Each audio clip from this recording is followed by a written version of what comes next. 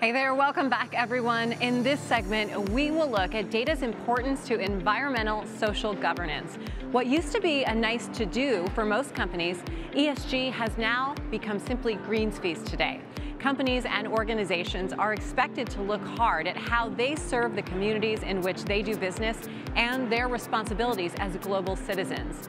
Recently, Mariana Adamian, Informatica's head of global industry portfolio in GTM, spoke with Levent Ergin, Informatica's global chief for ESG and sustainability strategist. Let's listen as they discuss how companies can turn the ESG regulatory burden into business benefits and promote ESG principles to drive long-term growth. Enjoy. Levent, great to have you at the Informatica World virtual studio this afternoon. As the ESG and sustainability chief strategist, you're helping our customers lead the charge on their ESG initiatives. Before we get too deep into it, though, can you define for us what does ESG stand for and what does it represent? Great. Thanks, Mariana. Great to be here. Thanks for having me on. I'm really excited. So um, ESG, I mean, an acronym that encompasses so many things, but to break it down, it covers environmental, social, and governance. And when you do all of those things properly, then you have sustainability. And um, you might be wondering uh, why the focus on the E these days. And that's because in 2015, the Paris Agreement was signed by 191 countries of the United Nations and by the way, that number is now 193, where countries signed a legally binding agreement to limit global warming to one and a half degrees. Um, that's obviously we want to you know save our planet, but also uh, from a climate risk perspective, um, harsh climate change also has a negative impact on economics on business and well-being of, of um, people and, and the planet. So now we're seeing a huge shift in uh, the focus on ESG, which is certainly um, a welcomed uh, outcome for us. Fantastic. And it sounds really like ESG is so much more than an initiative that we would sort of typically undertake inside of organizations. There's already regulation in place in EMEA. That regulation is coming into place in North America in 2024, which will be here before we know it. The timeline is certainly accelerating. What are the exact regulations that are coming into place, and what is the impact on organizations if they don't have an ESG reporting plan uh, in place by the new year? Great question, Mariana. So, um, following on from the United Nations Paris Agreement, which is also referred to as the Paris Accord, all of the G7 and G20 countries are now rolling out regulations. So the trend that we are seeing is certainly a move from voluntary disclosures to mandatory ones. And uh, as a result, um, especially with the Joe Biden administration, we've seen the Securities and Exchange Commission in the US publish their proposal for ESG reporting back in March last year. We're expecting that to go live, as you said, for all publicly listed companies in the US by January 2024. So that's, you know, for all publicly listed companies, quite a, uh, you know, time frame that's short and coming. It's going to be here before we know it. And when we look at um, the US and how it makes up 30% of the GDP globally, um, even US getting this right is a significant move. Then when we look at the European Union, we had um, SFDR, and, and you're going to have to uh, bear with me. It's an acronym soup. Even ESG itself is an acronym. So there's just uh, non-stop acronyms here. But uh, uh, with the stand uh, with, with, the standard setters, unfortunately, everyone's coming up with their own uh, acronyms. So in European Union, we had sustainability, sustainable finance disclosure regulation (SFDR). That went live for all financial services back in March of 2021. So that impacted 11,700 um, companies. We had level two of um, SFDR go live in January this year.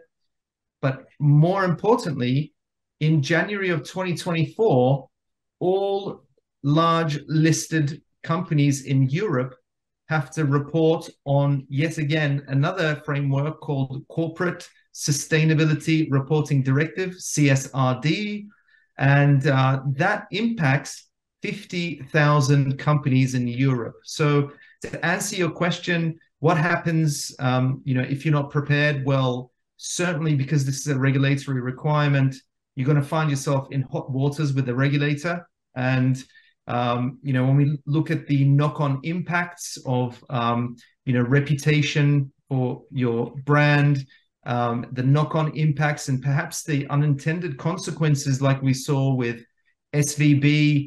You know, the moment in the market, if the trust and um, reputation is impacted for companies, uh, it can it can lead to some big consequences. So yeah, those would be some examples to share on that one. That's, I mean, it really does sound like a, a veritable alphabet soup of acronyms. And I know you and I have had this conversation before, and uh, full disclosure, I always have cheat sheets because I can never remember what anything stands for.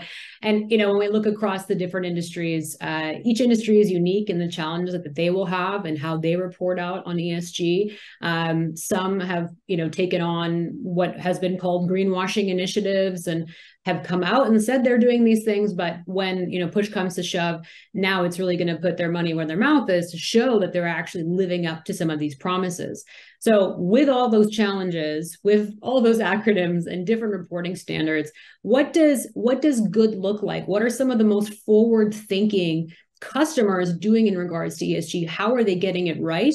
And how are they actually driving business value from ESG?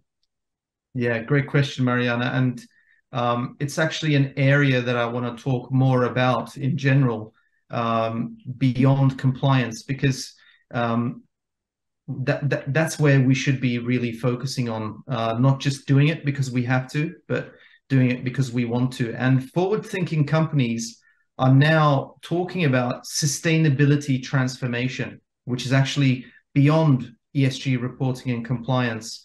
And you know it's looking at integrating sustainability into the business strategy into how you scan the horizon for opportunities to decarbonize your business whether that's in your supply chain, because when we look at the regulation, especially with greenhouse gas um, greenhouse gas protocol, under that you have what we call scope three carbon emissions in your business operations or your supply chain. Upwards of 70% of the carbon footprint is actually in your supply chain. And um, when we look at um, sort of setting the tone from the top of the house, um, we see the boards as they go through this process being asked some very deep questions. And i want to share a couple of them with you because um, i think mostly in the conversations i've had to date whenever i mention um, esg people somehow link that to gdpr or ccpa i mean this is no, so much bigger than that and it's about um, doing the right thing. And you know companies that actually train boards typically run through an exercise where they ask the board members to you know think about their grandchildren and think about the kind of world that they want to leave to their grandchildren and then ask them how is their company playing a role in the future for their grandchildren so when we look at uh, the typical way of doing business um, at a C level Typically, they've got three to five year targets, and then they achieve those, and it's musical chairs. They move on to another company. But when you do sustainability right, you know those companies that are going to be surviving all the storms that are ahead of us are going to be those companies that have thought 10 20 30 years into the future and not just focus on risk and reward but also look at purpose you know what are they standing for what are they doing for the communities that they serve, for their employees and the, the planet at large? So those are some of the key things uh, that forward-looking companies are uh, looking at at the moment. That's great. So it's a much wider aperture that they're taking in terms of how they actually approach these things. And it sounds like it's more of a almost cultural shift eh, organizationally uh, beyond just looking at sort of point solutions to help solve for some of those things. So that's um, truly very inspiring. And, you know, like the temperature of our Earth, uh, ESG is the hottest topic currently. Um, and truly, this now is the time for us to act, um, both as as good, you know, global citizens and also as as leaders inside of our organizations. But with everything that you've just mentioned, you know, I can't I can't help but think about the the incredible volume of data points that these organizations, our customers, and and and, and folks in the space have to wrangle while yeah. also understanding, you know, there are multiple vendors in this space. There's new ESG specific software and technology popping up literally every day. There are multiple partners that customers can engage. So how do they start to make sense of this? Where does Informatica actually fit in? Um, and how are we kind of uniquely positioned to help uh, with our ecosystem in terms of engaging with customers on actually formulating this plan to start to tackle some of these pieces?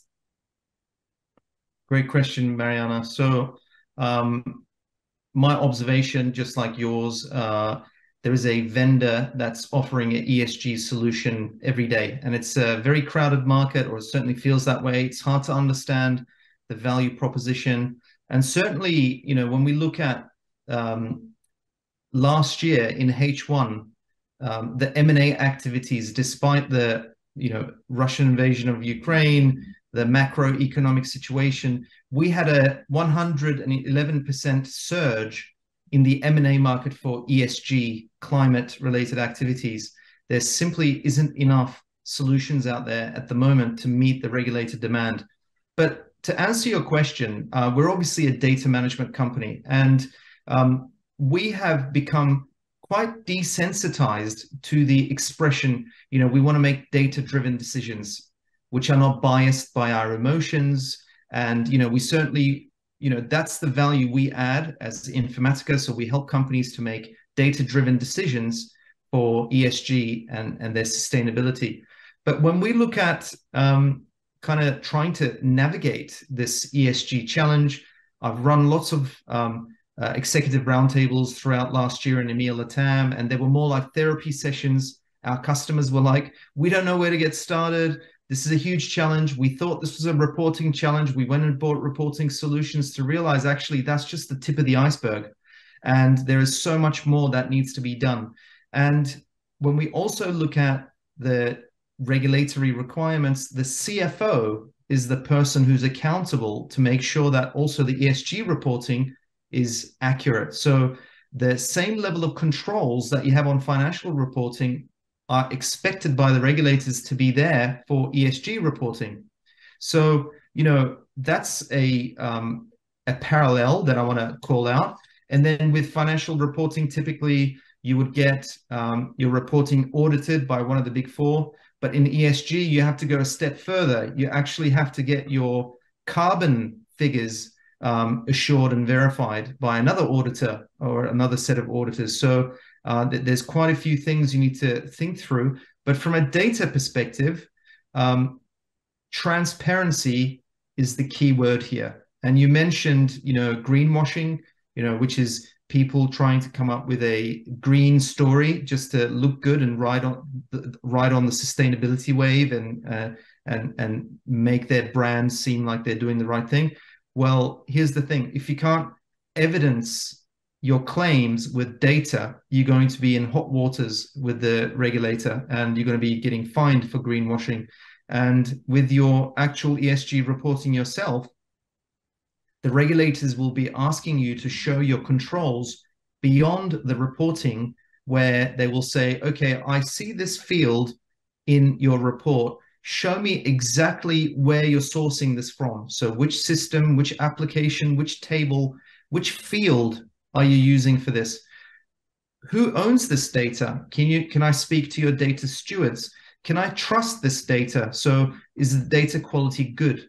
Are you sourcing this information from your central golden sources of truth? So is this you know mastered information or are you sourcing it from a source which has multiple duplicates where you don't know if it's the uh, you know best source of truth or not so those are some of the things where you know our platform IDMC for ESG, which is what we're launching at Informatica World, helps our customers with. It helps them to build an ESG data hub, which has all the appropriate controls to withstand regulator scrutiny, so that when they do their um, ESG reporting, all the controls are there. And whenever they make claims uh, around sustainability, they can evidence that with data and so on.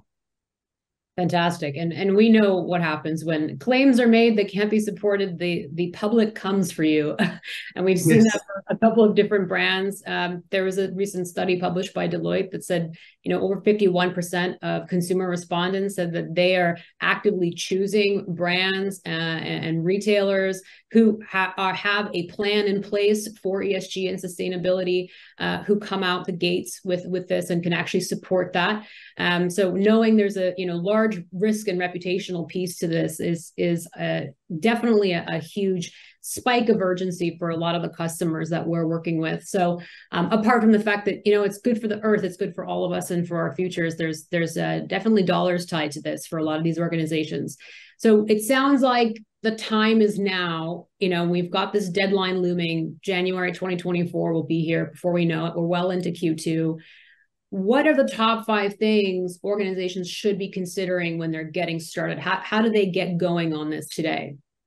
Yeah, great question, Mariana. So, um, firstly, depending on the vertical of your business, um, you will have different climate risks that apply to your business. So, the first thing you should be doing is doing your materiality assessment to understand from an environmental, social governance perspective what are those material risks to your business that you're going to do something about? And that will determine you know exactly what you need to um, roll out and put in place. The next thing you should be looking at is you know where do you want to be in terms of maturity? Do you want to just comply where at some stage um, it will be visible that you're doing it because you have to and not because you want to. So um, you know what we advocate is don't just look at this as a um, regulatory compliance exercise. Um, look to actually integrate this into your uh, business strategy and use it as a way to differentiate yourself. And and that will help you to be one of those companies that will still be around uh, in 20 30 years time as a company that's well known for you know looking after its employees looking after the planet and looking after the communities uh, that that business serves um, then from understanding where you want to get to, uh, which is, you know, your visionary target, um, obviously you need to then come up with um, an MVP, which is, okay, what is the first place we want to start with? And clearly that's going to be complying with regulations. And, you know, um, that's uh, natural, but um, the, the next sort of iterations, uh, which companies should hopefully be looking at is how do we then integrate this into um, our business strategy, how we manage our risks. I mean, certainly the financial services sector um, is very advanced in this because they are um, being asked to do climate stress testing. So looking at, okay, what does it mean for our balance sheet? If, you know, we do reach one and a half degrees, are we still going to be resilient as a business? So um, those are some of the considerations, um, as as you've asked me, that I think companies can uh, look at putting in place today. It's fantastic. Those are those are great and actionable points there. And what about the organizations? You know, there are organizations that we're working with where there are entire divisions, departments, leaders, and budgets set aside for this. They're well ahead of the game. What about the folks that, you know, aren't quite there yet? They haven't set aside budget, they're formulating their plan. There might be a group of leaders right inside the business that are charging ahead on this and working to build buy-in internally what can they do to really galvanize their organizations to take action on this now? Yeah, great question again. Uh, so, um, coming back to the materiality assessment again is key because depending on the vertical you're in, um, what most people don't realize are uh, some of the existing threats to your business today um, ESG as an all-encompassing piece of regulation um, oversees that and more. Let me give you an example. If you're a company that is um, doing business heavily on the internet, um, you will be required to make sure that you've got the appropriate data security controls, um, which comes under the S and G And you know, if there is a data breach, then you'll need to have processes in place to be able to respond to the regulator within 48 hours or whatever the local rules are, to be able to say, yes, we've had a breach and these are the people affected. And some of those are requirements today, but this just gets amplified uh, by the ESG regulation. And you know, when we look at, um, let's say, a beverage company, um, their, let's say, future of their business will is dependent on water.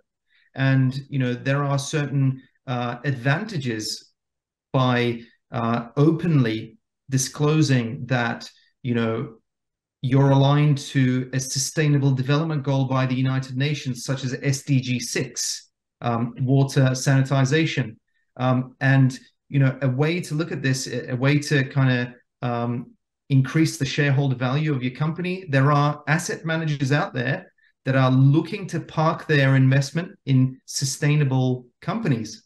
So there are SDG aligned funds that only align with certain SDGs like water. So by, you know, getting your company to be visible in that space, uh, space, you're going to be attracting uh, investment, which is going to be increasing your shareholder value. So um, there's lots of uh, examples that I could get get into, but it's probably going to be uh, quite a long session then. But uh, those are some examples that I wanted to share, Mariana. That's fantastic. And if for anyone watching at home, he just said another acronym, SDG6. Uh, next time we will have a bingo card long, and there'll be a free space. Uh, thank you so much, Levent. That's certainly a lot to thank cover. You and and that's some great detail for for folks watching. Uh, if you want to get into this conversation in greater depth and you want to uh, you know connect with levent and have those uh, specific conversations around how your organization can start to uh, tackle esg please don't hesitate to reach out. Uh, we'll flash an email for him but uh, the email to contact is esg at informatica.com levent ergin is our chief sustainability and esg strategist here at informatica Levent, thank you so much for joining us this afternoon at the virtual studio. We sincerely appreciate your time. Thank you once again and have a great afternoon. Thank you, Mariana. Great to be here.